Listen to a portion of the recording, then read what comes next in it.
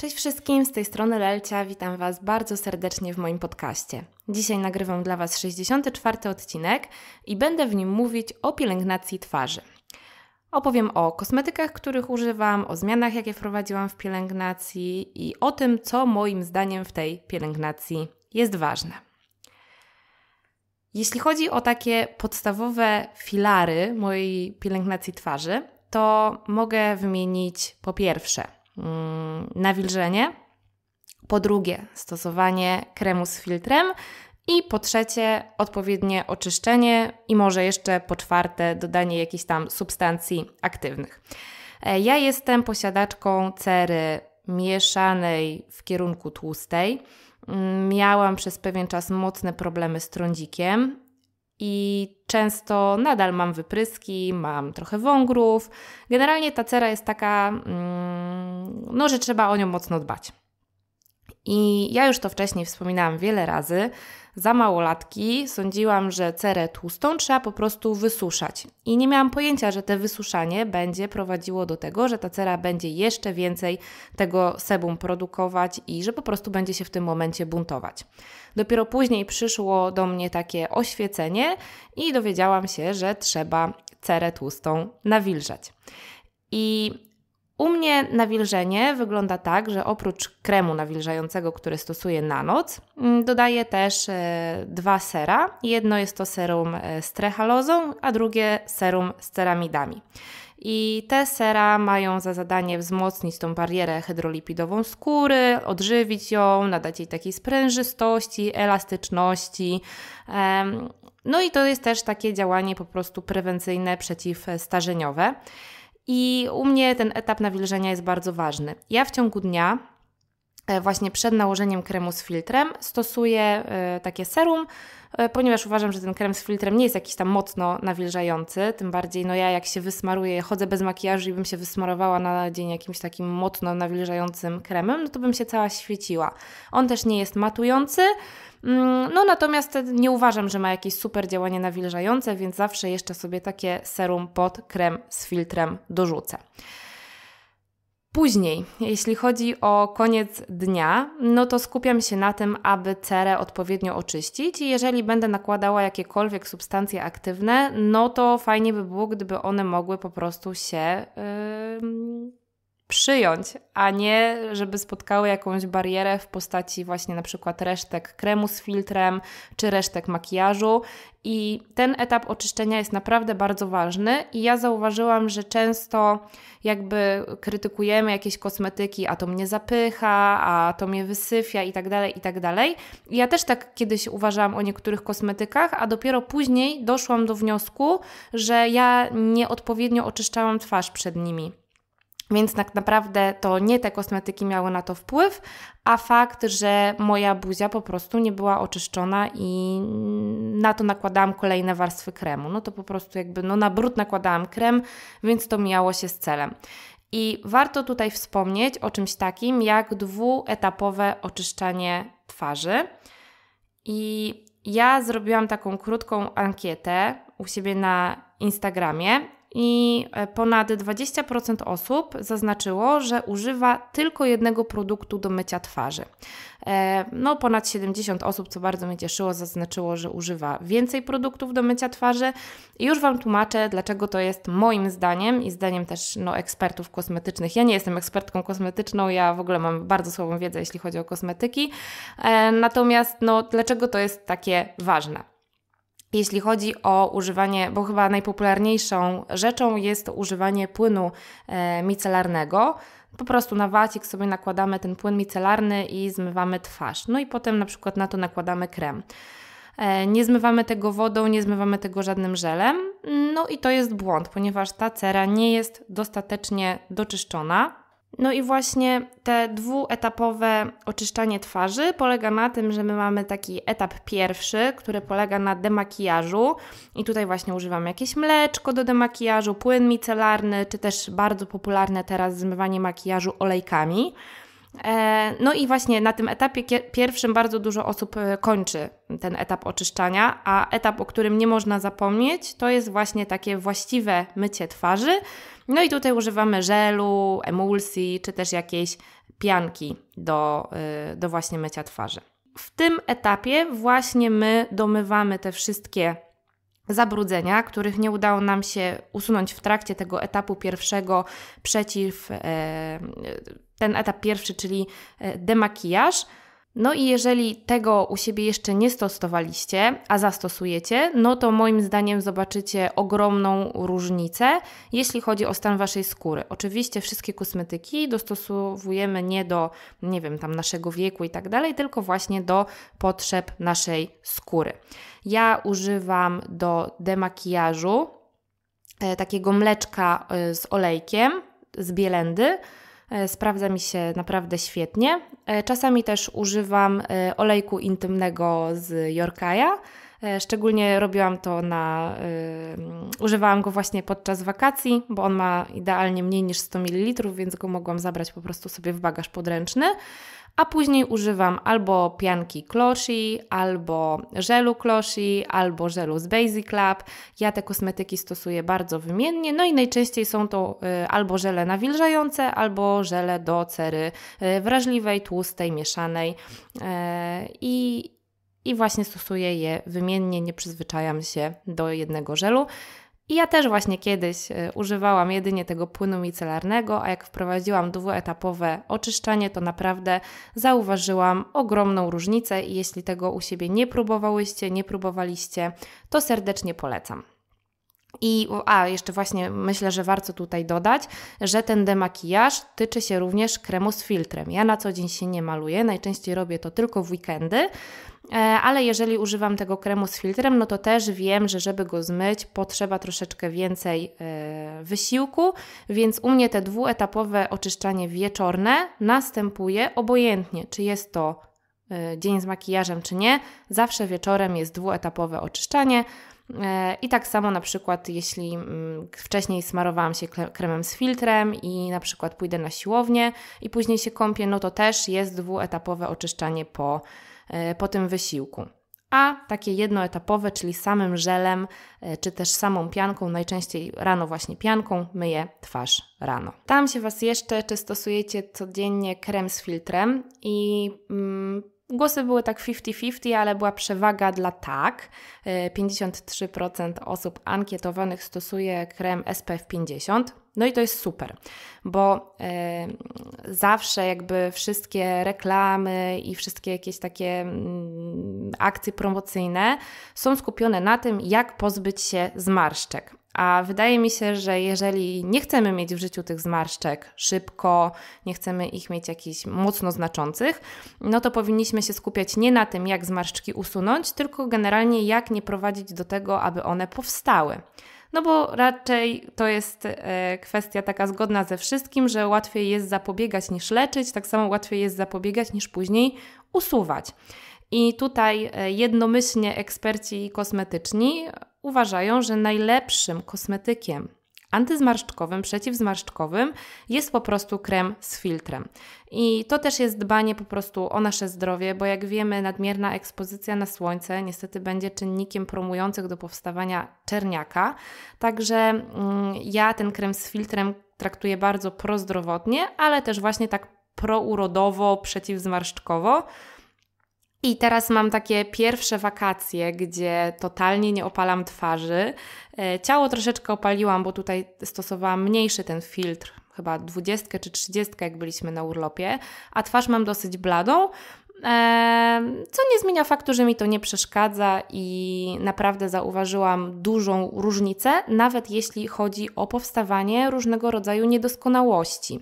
Od kiedy wprowadziłam krem z filtrem do swojej codziennej pielęgnacji, nawet zimą, nawet jesienią, nie tylko latem, E, to po prostu ta tendencja do powstawania wyprysków jest znacznie mniejsza. I kremów z filtrem mamy mnóstwo i każdy charakteryzuje się czymś innym. Warto tutaj zrobić sobie taki, no taki naprawdę y, gruby research i kupić kilka produktów i porównać je ze sobą. Ja dopóki trafiłam na mój ulubiony, wy, wymarzony krem z filtrem, no to przetestowałam kilka produktów i zawsze uważałam, że one są spoko. A później dochodził nowy i on był lepszy, lepszy, lepszy, lepszy i w końcu znalazłam taki totalnie najlepszy i u mnie przy wyborze kremu z filtrem jest kilka takich e, cech charakterystycznych, których e, takich kilka rzeczy, które po prostu no, no musi ten krem spełniać, bo inaczej będzie do bani. I z racji tego, że stosuję go codziennie i nakładam go też na powieki, mm, no to on nie może szczypać w oczy. Niestety większość kremów będzie szczypała w oczy. Po drugie, skoro jestem posiadaczką cery tłustej i takiej właśnie skłonnej do świecenia, no to też nie chcę, żeby ten krem mnie jakoś bardzo mocno wyświecał. Mm, dlatego nie zależy mi na super nawilżającej formule. Fajnie jest też, jeśli krem posiada, w ogóle to jest u mnie mm, taka kwestia, która dyskwalifikuje naprawdę wszystkie kremy do twarzy, jeśli krem jest w słoiczku. Po prostu do, wkładanie tam palucha przez cały miesiąc, no jakoś y, totalnie mnie odrzuca, więc jeśli stosuję krem do twarzy, no to jakby pierwsze kryterium to jest takie, że on musi być albo w tubce z pompką, albo w takiej tubce wyciskanej. Nie chcę czegoś, gdzie będę musiała wkładać codziennie rękę, nawet super umytą e, i tak dalej. E, więc tutaj, jeśli mamy krem z filtrem właśnie w tubce i jeśli taka jedna pompka to jest ilość kremu, który trzeba nanieść na twarz, no to dla mnie też jest bardzo, y, bardzo duże ułatwienie. E, no i żeby się jeszcze nie kleił jakoś mocno bo ja krem z filtrem stosuję głównie jakby noszę twarz bez makijażu, więc krem z filtrem raczej e, na ten krem z filtrem już nic nie nakładam. Mm, no i jeśli on się klei, no to jest fajną taką bazą pod makijaż, ale jak się nie klei, no i to jest już wykończenie nasze, no to, no to jest naprawdę bardzo duży plus, bo później na przykład nasmaruję taką, taką twarz tym kremem, wyjdę na dwór i mam po prostu włosy przyklejone do całej twarzy, więc to też nie jest fajne. I ja używam kremu z Basic Lab, I to nie jest krem, tylko to jest emulsja, bo właśnie oni mają dwa produkty i to jest emulsja. E, wcześniej też miałam Anthelios z La Roche i też był super, tylko właśnie miał w składzie alkohol i nie miał tej pompki, żeby odmierzyć e, odpowiednią ilość, a był też bardzo wodnisty i ja często miałam problem mm, z tą aplikacją. No i przez fakt, że miał alkohol na, na, drugim, składzie, na drugim miejscu w składzie, to akurat u mnie tej twarzy mocno nie wysuszał, ale śmierdział tak, jakbym się po prostu no, setką wódki smarowała. Także to było nieprzyjemne w, w użyciu, ale naprawdę na, na twarzy wyglądał super, nie kleił się, nie szczypał w oczy, więc to, więc to było ekstra. No i tutaj wydaje mi się, że warto wprowadzić taki krem e, do twarzy, do swojej pielęgnacji, szczególnie jeśli właśnie zależy nam na tym takim działaniu prewencyjnym, mm, jeśli chodzi o starzenie się skóry. Także no ja polecam, polecam, bo już stosuję to od jakiegoś czasu i widzę, widzę efekty. A jeśli chodzi o bladą twarz, e, no to wiecie, pierwsze, tam jakiś makijaż można sobie zrobić, a po drugie, ostatnio, czyli no nie tak ostatnio, bo w, chyba na walentynki właśnie sobie zamówiłam piankę brązującą do twarzy, do ciała i do twarzy. E, używałam ją raz jakoś kwiecień, maj, tylko wtedy właśnie tak nie zostawiłam jej na zbyt długo i teraz e, drugi raz jej użyłam i naprawdę fajnie twarz e, mi się zabrązowiła, bez żadnych tam smug e, czy, czy jakiegoś tam pomarańczowego efektu. Naprawdę uważam, że ta pianka jest świetna, to jest firma ten ekspert. E, u nich warto się czaić na jakieś promocje. Ja tam chyba na minus 30 czy minus 40% zamawiałam wszystko sobie właśnie na walentynki, razem z taką rękawicą do nakładania i u nich macie różne te pianki, można wybrać sobie ten stopień opalenia. Ja mam taką delikatnie brązującą, to jest chyba taki efekt muśnięcia słońcem, ale możecie oczywiście sobie mm, zamówić mocniejszą. Ja następnym razem będę zamawiała mocniejszą, ale ta pianka też jest bardzo wydajna, więc wydaje mi się, że ona na rok to starczy mi spokojnie. No i dobra, powiedzieliśmy o nawilżeniu, powiedzieliśmy o oczyszczeniu, o kremie z filtrem, e, no i jeszcze te substancje, składniki aktywne. E, ja jestem ogromną fanką niacynamidu, bo on wpływa właśnie na moją skórę też tak wyciszająco, nie ma dużo tych zmian. I naprawdę, naprawdę jest świetny. Ja niacenamid stosuję obecnie tak z dwa razy w tygodniu.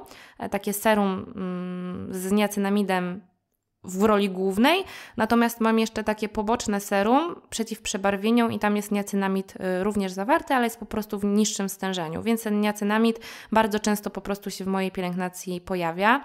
E, peelingi do twarzy też są bardzo ważne i też je należy dobierać właśnie do potrzeb skóry cery y, wrażliwe, cery takie normalne, cery suche też będą potrzebowały peelingu, bo on będzie miał też u nich y, takie działanie nawilżające, no i potem pozwoli tym innym kosmetykom po prostu lepiej y, zadziałać. Więc tutaj też Wam polecam jakby zainteresować się różnego rodzaju peelingami bo one też bardzo dużo dobrego dla skóry mogą zrobić. Oczywiście nie przesadzamy z częstotliwością ich stosowania.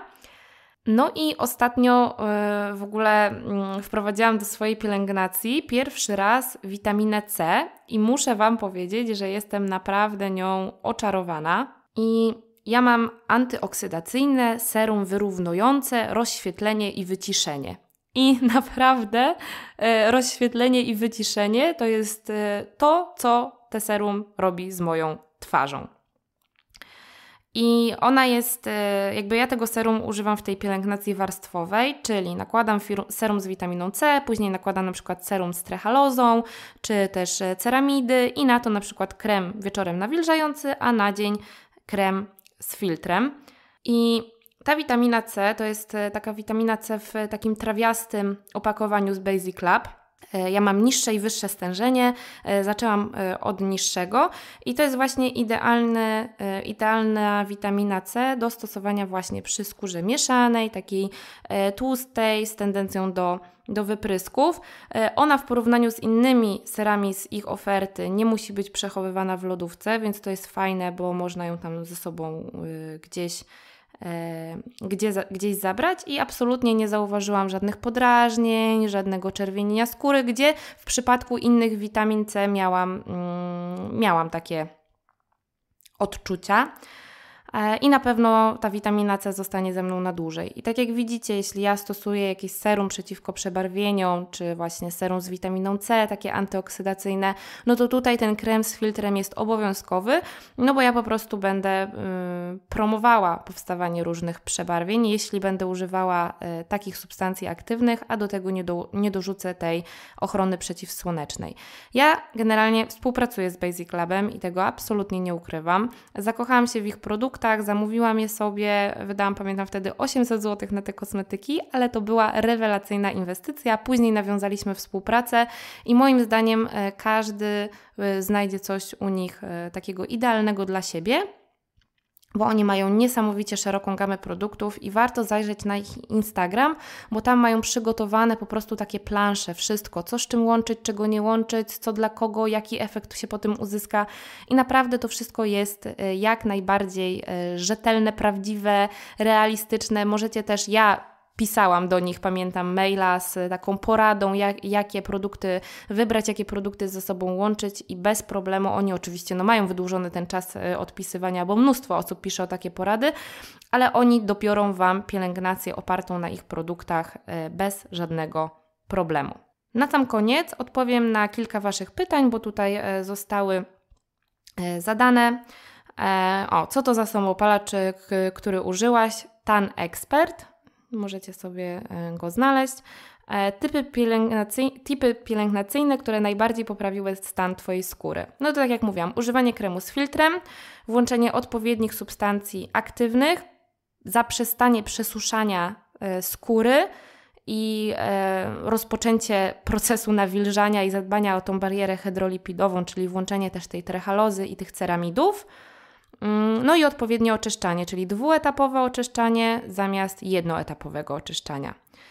Z jakich substancji aktywnych korzystasz? Mm, no to y, jakieś e, kwasy. Mi się wydaje, że teraz migdał chyba. Kwas, u mnie migdał się naprawdę rewelacyjnie sprawdza. Migdał, niacynamid, e, nie wiem co jest w tym serum na przebarwienia. Tam jest jakaś ciężka nazwa, ale to jest serum na przebarwienia z Basic Lab. O, witamina C, nie wiem, czy trechaloza jest substancją aktywną, no to i te ceramidy, także tego jest naprawdę dużo, ale jeśli miałabym się ograniczyć do kilku kosmetyków, no to zdecydowanie bym została przy kremie z filtrem, przy dwuetapowym oczyszczaniu. No, trechaloza zamienił mnie z ceramidami, więc bym sobie raz zamawiała to, a raz to i naprawdę tego nie trzeba nakładać na twarz dużo, więc to jest super wydajne. Mm, no teraz już jak spróbowałam witaminy C, to już bym nie potrafiła z niej zrezygnować. No i nie, dobra, wszystko, w sumie wszystko, czego używam, to bym wszystko zostawiła. E, idę rano na trening, myć twarz przed wyjściem czy dopiero po treningu. Ja robię tak, ale to jest moja e, cera, jakby u mnie się to sprawdza, e, że ja po prostu myję twarz przed treningiem wodą. Po prostu zimną wodą przemywam twarz, a dopiero później e, myję żelem, bo jakby po nocy mm, nie czuję aż takiej potrzeby oczyszczenia tej twarzy. E, jeśli wiem, że za dwie godziny będę myła ją żelem, a takie mycie co dwie godziny żelem na przykład u mnie się nie sprawdza. Ale może masz jakąś delikatną piankę, mm, no musisz sprawdzić po prostu u siebie. Ja wiem, że jak tak często myłam twarz żelem, to, to nie było fajnie. Więc jeśli mam trening rano, pierwsze co mam trening, to po prostu twarz zimną wodą. Tak samo jak idę z psem, zanim nałożę krem z filtrem, też często e, po prostu chlusnę twarz wodą. Czego, kiedy i jak używasz? E, a więc tak, rano najczęściej po umyciu twarzy używam e, serum z witaminą C. Mm, nie codziennie, bo czasami o tym zapominam Eee, to jest właśnie moja obecna pielęgnacja, teraz taka letnia, wakacyjna. Później na to nakładam albo trechalozę, albo serum z ceramidami i następnie krem z filtrem. Krem z filtrem dokładam w ciągu dnia w zależności od potrzeb. Eee, natomiast wieczorem jest dwuetapowe oczyszczanie twarzy i albo nakładam serum e, przeciw przebarwieniom, albo niacynamid i na to później trechalozę, ceramidy i krem Albo nakładam samą trechalozę albo ceramidy i krem, albo jak nie mam siły, to nakładam po prostu sam krem, e, a czasami nakładam też po prostu kwas migdałowy i na to już później nie nakładam żadnego serum ani kremu. I to jest zazwyczaj raz, dwa razy w tygodniu taki migdał sobie na twarz założę, już go zaraz kończę i teraz przejdę na taki peeling zmywalny z kwasem. Więc zobaczymy, czy będzie jakaś różnica w działaniu. E, jakiego kosmetyku nie może u Ciebie zabraknąć? No to, no to te wszystkie, które wymieniłam obecnie, obecnie bym chciała, aby się znajdowały w mojej pielęgnacji. no krem z filtrem obowiązkowo, żel do mycia twarzy obowiązkowo, mm, krem nawilżający albo chociaż trechaloza, no ta witamina C po prostu się w niej zakochałam, a niacinamid widzę, że rewelacyjnie działa na moją cerę. Ale generalnie gdybym miała e, wybierać, no to by, bym chyba została po prostu, że oczyszczanie, krem z filtrem i nawilżanie. A zrezygnowałabym z substancji tych dodatkowych. Nie wiem, jakby to wpłynęło na moją cerę, ale mi się wydaje, że najpierw o te podstawy bym zadbała. Bardziej wierzysz w działania kosmetyków czy zabiegi z gabinetu? Moim zdaniem Totalną podstawą jest zadbanie o wszystko w domu, a potem dołożenie do tego ewentualnie zabiegów w gabinecie. Ja obecnie nie korzystam z zabiegów w gabinecie, może sobie na zimę na coś pójdę ciekawego, e, ale jak widzę, że mam tą pielęgnację w domu dopiętą, to nie czuję po prostu potrzeby, żeby iść do gabinetu.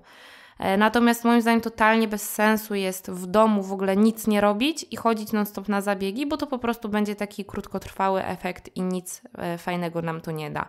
Więc moim zdaniem mm, podstawa w domu, a potem ewentualnie można coś sobie w gabinecie zrobić, bo wiadomo, że e, takiego dermapenu raczej nic nam nie zastąpi. Jakieś tam mm, tego pod oczy, jak to się nazywa, mikro, mikro, nie wiem, ale ta igłowa, mikro, nie wiem, zapomniałam. Ale no takie to jest wstrzykiwanie pod oczy, no to raczej też nam nic tego nie zastąpi. Eee, także no moim zdaniem to można fajnie połączyć, ale najpierw najważniejsze jest się skupić na tej pielęgnacji w domu. Czym zmywać twarz, jak na co dzień używam tylko kremu z filtrem? No to myślę, że wcześniej już odpowiedziałam na takie pytanie. E, ja y, używam po prostu dwuetapowe oczyszczanie, czyli na początek płyn micelarny, olej albo mleczko do demakijażu, a później właśnie żel, pianka, jakaś emulsja myjąca z wodą. Skąd wiedzieć, kiedy skóra trądzikowa potrzebuje nawilżenia, a kiedy go za dużo? Nie umiem odpowiedzieć, ponieważ y, absolutnie nie mam wiedzy w tym temacie. Natomiast no, używanie. Mm, nie wiem, wiecie co, naprawdę nie wiem. Tutaj nie chcę, nie chcę żadnej głupoty palnąć i myślę, że to jest pytanie do e, kosmetologa, dermatologa.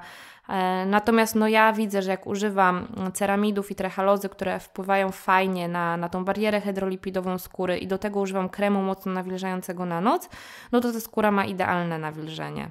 Tutaj była wiadomość, chcę tylko powiedzieć, że dzięki Tobie zaczęłam używać SPF. No to bardzo się cieszę, naprawdę bardzo się cieszę, bo mi się wydaje, że to jest tak, no, że sobie tam za 20 lat podziękujemy za to, że tam w wieku 20-30 lat e, zaczęłyśmy używać tego kremu z filtrem i, i że naprawdę fajnie, e, fajnie zadziałałyśmy właśnie tak anty-agingowo. Jest coś, co dzisiaj kompletnie nie sprawdziło. E, znaczy, ja mam często tak, że używam, bo generalnie, mm, nawet jeśli ja polecam Wam jakieś kosmetyki, to one mogą się u Was totalnie nie sprawdzić, ze względu na to, że każda cera ma po prostu inne potrzeby. E, u mnie często nie sprawdzają się kosmetyki polecane przez innych, bo ja też e, próbowałam na przykład kosmetyków e, z firmy Resibo, czy też kosmetyków z firmy Mia i totalnie nic mi u nich nie podeszło. Jak miałam olejek Mia do demakijażu, to to jest właśnie kosmetyk, który totalnie mi się nie sprawdził. To był po prostu straszny. Nie, nie mogłam się doczekać, aż opakowanie się skończy, bo mi się totalnie, totalnie mi się nie sprawdzał. Nie wiem, co jeszcze mogłabym tutaj dodać. Chyba nic mi nie przychodzi do głowy takiego. No, wiem, że miałam wcześniej witaminę C y, z Basic Lab różową i ona się u mnie też nie sprawdziła. Właśnie tak się zastanawiałam, kurde, tak wszyscy chwalą witaminę C, a tutaj jakiś taki, nie wiem, e, nie widzę żadnych efektów działania, a tutaj po dwóch tygodniach stosowania tej trawiastej już mam taki efekt wow. Więc, e, więc to też mi się nie sprawdziło. Twoje super sprawdzone produkty i zabiegi. Mm. To jeśli chodzi o zabiegi, to ja bardzo polecam Dermapen. Szczególnie jeśli ktoś się e, boryka z przebarwieniami. Ja miałam bardzo duże przebarwienia e, na twarzy i Dermapen super sobie z tym poradził. Dermapen to jest zabieg, który bym chętnie powtórzyła, tylko bardzo się boję tego bólu, bo on jest też robiony z kremem znieczulającym i sam zabieg może jakoś nie boli, ale potem mamy taki efekt na twarzy, jakby ktoś nam po prostu yy, papierem ściernym ją starł. Tylko teraz też mam trechalozę, ceramidy i tak dalej, więc ta twarz jakby po tym zacznę ją tym traktować, to yy, może szybko wróci do siebie. Natomiast e, no, Dermapen polecam, mm, bo jest rewelacyjny. Uważam, że super zabiegiem też jest Geneo. Fajne są też kwasy medyczne. Mm, Piotrek był na e, zimą właśnie na takich dyniowych e, zabiegach. Peeling dyniowy czy dyniowe, co, coś takiego. To też bardzo, bardzo mu się to podobało. No i nie wiem, ja więcej takich. E, właśnie kiedyś bym chciała tej mezoterapii pod oczy spróbować. No to może teraz zimą sobie spróbuję. I nie wiem, co tam jeszcze. A, i ja jeszcze chodziłam na Aquapure. To też był rewelacyjny zabieg w klinice kosmetologice. No, to też było fajne. A sprawdzone produkty, no to ja jestem po prostu teraz totalnie basic labową maniaczką i praktycznie wszystko mam od nich. E, bardzo też polecam serię Closhi Pure, która jest dostępna w Hebe. E, oni też mają świetne kosmetyki, które się u mnie naprawdę rewelacyjnie sprawdziły. No i chyba chyba to wszystko. No i z Bielendy ten olejek, co mówiłam, myjący. To on pachnie jak mamba i nie, nie zostaje takiej tłustej warstwy wstrętnej. No to też u mnie się świetnie, świetnie sprawdził. No i dobra, myślę, że to są odpowiedzi na wszystkie pytania. Mam nadzieję, że ten odcinek podcastu komuś pomoże. E, wprowadzić jakieś zmiany, modyfikacje w swojej pielęgnacji. Może ktoś zacznie używać kremu z filtrem, albo przestanie katować swoją suchą, e, swoją tłustą skórę wszystkim, co wysusza, tylko zadba o nawilżenie, e, że włączy drugi etap do oczyszczania twarzy. E, no mi to bardzo pomogło i ja się chętnie tym dzielę, bo mm, kiedyś jakby moja cera mnie strasznie zawstydzała i ja miałam jej dosyć, już nie wiedziałam do, do końca, co mam robić. e, i próbowałam różnych, różnych rzeczy i to się po prostu nie sprawdzało albo nie przynosiło takich efektów, jakie bym chciała. No i też e, na sam koniec dodam, że mm, warto pamiętać o diecie, aby ta dieta była jak najbardziej taka przeciwzapalna, jeśli mamy problemy mojego pokroju, czyli wypryski, e, tłusta cera i e, dużo zaskórników, jakichś tam wulkanów i tak dalej, no to wtedy warto zadbać o to, aby dieta była przeciwzapalna. I ja Wam w opisie do e, podcastu podlinkuję link do bloga, tam jest właśnie wszystko opisane, jak powinna taka dieta wyglądać, jakie produkty należy włączyć, jakie produkty należy ograniczyć, no i tutaj może z racji tego, że ja współpracuję z Basic Lab i to jest jedyna marka kosmetyczna, z którą współpracuję, mm, to chciałabym Wam przypomnieć o kodzie rabatowym LELCIA20, e, który daje 20% zniżki na nieprzecenione produkty. Tak jak mówiłam, możecie do nich napisać maila, oni tam dobiorą Wam produkty, e, jeśli chodzi o pielęgnację Waszej twarzy. E, no i co, zapraszam Was na e, mojego Instagrama. Ostatnio pojawiły się ciekawe rzeczy w zapisanych relacjach. Jeżeli nie śledzicie mnie na bieżąco, to serdecznie Was zapraszam do zajrzenia w przypięte relacje Trójmiasto. Jest to przewodnik po Trójmieście, taki co warto tutaj e, zobaczyć, jak się będzie na wakacjach, gdzie warto się udać, co ile kosztuje, jakie muzeum odwiedzić i tak dalej. Bardzo Wam polecam, długo nad tym siedziałam i dostałam spory bardzo miły feedback, że jest to fajnie zrobione i ciekawie. E, no i polecam Wam też przypiętą relację książki, jeżeli to Was interesuje, e, czyli tam macie mm, wszystkie książki, które przeczytałam odkąd mam czytnik. Przeczytałam już ich ponad 50, odkąd mam czytnik. To jest 7-8 y, miesięcy. No. E, także czy, czytanie szczytnikiem idzie mi bardzo dobrze. Mam nadzieję, że znajdziecie tam jakąś pozycję, która Was zainteresuje. No i oczywiście zapraszam też na moją stronę internetową lelcia.pl i do zapoznania się z ofertą e, mojej poradni dietetycznej, e, gdzie oferujemy konsultacje żywieniowe, konsultacje psychodietetyczne, a także miesięczne współprace pod okiem dietetyka. Możecie również zakupić gotowe e-booki treningowe, a także jadłospisy które pomogą Wam smacznie i zdrowo gotować. E, teraz jeszcze fajnie jest się załapać na jadłospis letni. E, tam do tych jadłospisów dostajecie też takiego mini e-booka z zamiennikami produktów, czyli jest taka instrukcja, co jak już się truskawki skończyły, albo jak borówki są drogie i nie chce nam się na nie tyle pieniędzy wydawać, to tam znajdziecie instrukcję, jak to wszystko wymieniać, aby Wam się budżet spinał i aby po prostu to wszystko było dostępne, bo czasami, nie wiem, chyba szparagów już też e, zaczyna brakować, bo szparagi to jest raczej ten wcześniejszy etap e, lata. Także ja Wam bardzo dziękuję za wysłuchanie tego odcinka. Mam nadzieję jeszcze raz, że skorzystacie z tych porad i słyszymy się w przyszłym tygodniu.